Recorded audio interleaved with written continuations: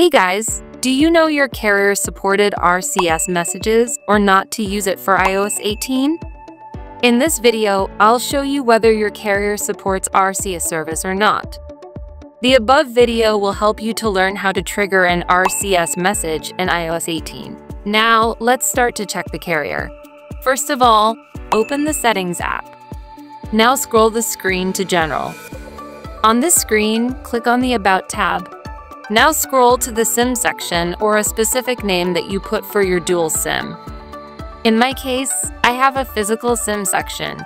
In your case, it may be carrier name, like Verizon, T-Mobile, etc. Here you can see the network provider. Perhaps on your phone, it replaces the name carrier. So now I'm tapping on the network provider.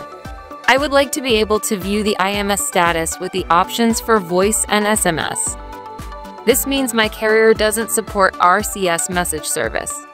Sometimes the carrier offers RCS service, but the carrier update is pending, so it won't show the RCS option. Please update carrier settings. Wait for a prompt. If there is a carrier settings update available, a prompt will automatically appear within about 30 seconds asking if you want to update. Tap Update if the prompt appears. It's also showing up in the Messages app text box, text message RCS, or text message SMS. Most new Apple features are available in the US only. If your carrier does support it, then it's just a matter of waiting. If your carrier supports RCS and you live outside the USA, please wait a few months for the feature to roll out in your country.